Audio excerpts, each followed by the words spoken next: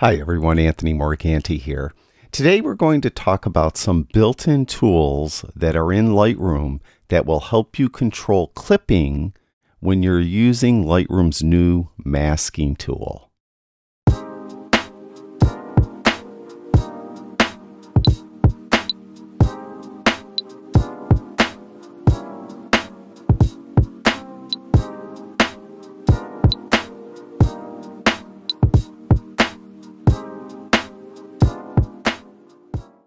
Today's video was prompted by an email I received. Um, somebody emailed me and said they typically uh, control clipping by holding in the Alt Option key when they uh, adjust their whites and blacks that are under the Basic tab. So if you hold in the Alt on a PC option on a Mac and you click on the white slider, you'll get a black screen and you would adjust it and you'll see you're starting to clip when you have those colors come through just back it off until the clipping disappears. Similarly for blacks, do the same thing. Hold in that Alt Option key and you'll see some color come through when you begin to clip.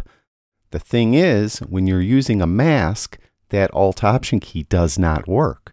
Well, Lightroom has a set of clipping tools built in that do work when you're using a mask. So I'll open up the masking tool. Let me close the basic tab down. And I'm just going to select the sky to make it easy. Now I'm selecting the sky, have the sky selected. Now let's say I want to get a white and black point eh, of the sky. As I mentioned, if you hold that Alt Option key and nothing happens, and you can see I'm obviously clipping when I am moving the white slider with the Alt Option key pushed in. What you could do instead of holding in Alt Option is hit the J key.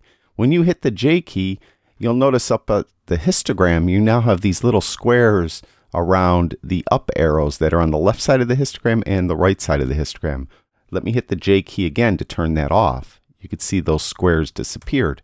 That is the clipping indicators. And you'll also notice that there is now some blue on the image. That's because I am clipping the shadows. If I were clipping the highlights, I am actually right here.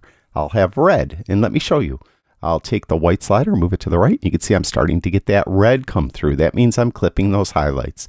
You just back it off until the red disappears. Similarly, if you want to adjust the blacks and you have the clipping indicators on as I do, you'll see that blue come through. And as you move this slider, you'll affect that even more. I'm not affecting that quite as much as the highlights. But if I brought that down, you can see how now, because it's affecting the sky is what I'm doing, the mask. You can see it's coming through.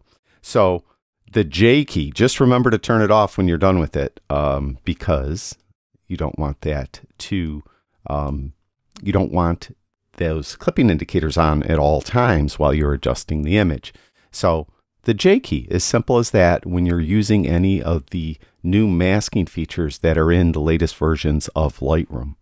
Thank you, everyone who watches my videos. I really do appreciate it. I'll talk to you guys soon.